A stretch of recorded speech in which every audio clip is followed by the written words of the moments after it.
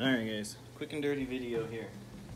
I switched up my doser and am now using a, the Jebao Wi-Fi that only has Chinese instructions, but actually wasn't that hard to figure out. but I am switching over to B-Ionic um, supplements. So I did the alkalinity one already, but I wanted to show you how to do the others. At least how I did them with the Voss bottles. So, with that said, here is the Voss lid. Here are the connectors I'm using. Now these are quarter inch male female. You get my drift. But these are specifically the ones I bought, if that helps you. I also bought um, quarter inch clear vinyl, 20 feet of it. That's what I bought. And it comes like this. So, uh, airline tubing is a little bit thinner, so it doesn't fit in the quick connects, but uh, you get the idea. So, I'm gonna run this over to where I'm um, putting the bottles from the doser. So we're on the second channel here.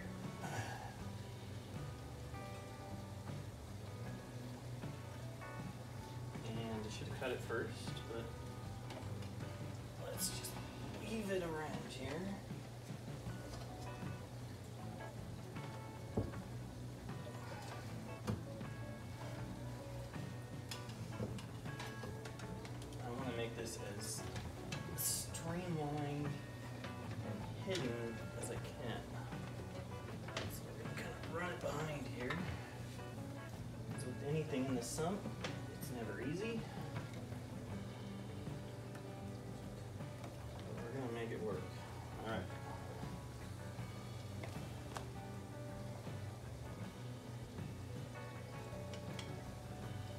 Got it right about where I want it, so I'm gonna cut it.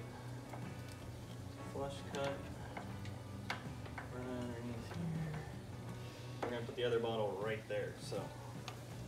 That said, where'd that cap go? So the cap, and I've got a 3 8 or 3 8 inch drill bit in here, and you just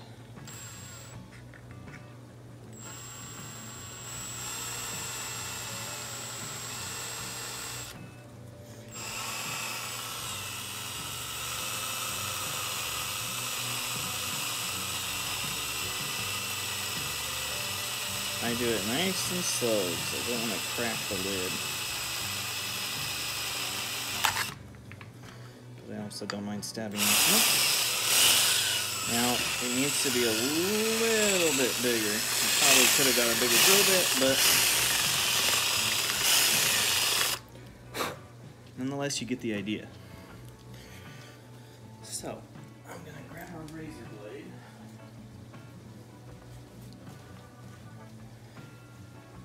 And this little kind of rough stuff at the top, I like to just cut off. I want to get a nice clean seal, or else what you'll notice is you'll get air in your your uh, air in your line.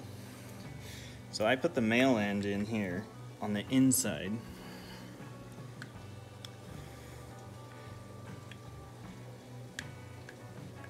And it can be a little tricky. Sometimes to work it in there just because I didn't do the exact size drill bit because I'm being a little bit lazy. But you get the idea and you get it started in there. And then I use a 17 millimeter socket. Get it the rest of the way through.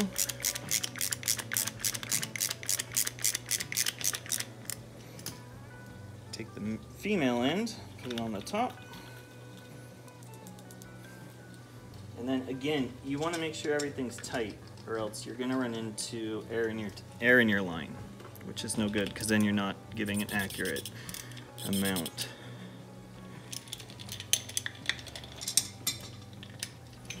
So there you have it. That's your connection. So on this one, one sec, let me grab a different tubing.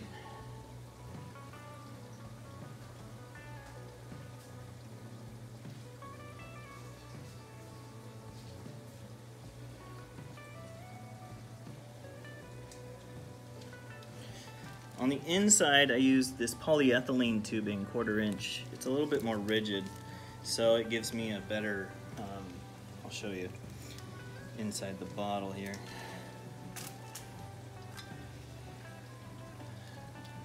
Then, fasten that there. Get your bottle. Obviously way too long, so we're gonna estimate it here. And then I don't do a flush cut on this one, I do an angled cut. The reason being, in case it goes flat against the wall, I want it to still be able to pull the fluid. So, see how it kind of stays more rigid, goes all the way down. So now I am going to fill this with calcium, B-Ionic calcium. All right, so before I was using Tropic, uh, or I'm Tropic Marin, all for reef.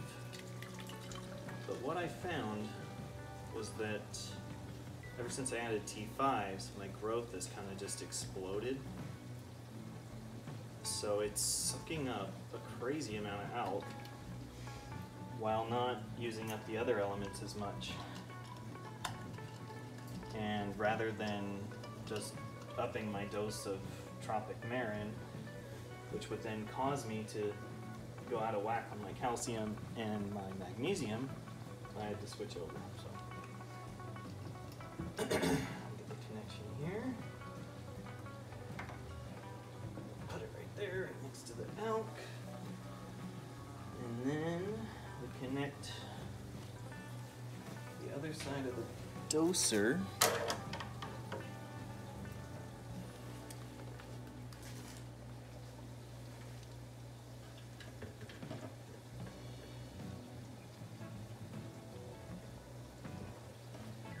And then I've seen, and I actually looked for those fancy dancy um, dosing tube holders. And they're nice, but they cost money. And suction cups don't. So I got airline suction cup tube holder thing. put it in there, clip it to the line, make sure it's away from the wall and then we suction it to the side. Okay, so you get the point of that, but now what we need to do is drain the line. So what you'll do is, or not drain it, but prime it. So you'll prime the line with your doser.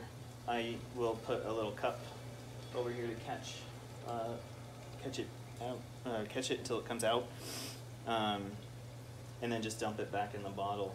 Uh, make sure there's no bubbles in it and everything. So that's that. I'll be back with you in a few just to show you the finished product. And we're back because I ran into an issue, one that I should have thought of but didn't. So what happens is, as it sucks it out, it's an airtight seal. So it uh, collapses the bottle. So what you have to do is I got a 1 8 inch drill bit. And we're gonna drill a breather hole just on the on one side here.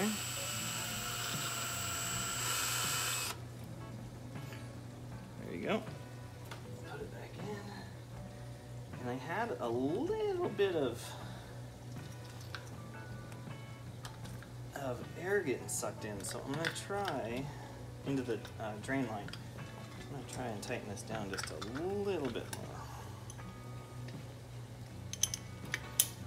Not, I may have to come up with something else, but for now, let's just do a tiny twist. We'll put this back on. This back on.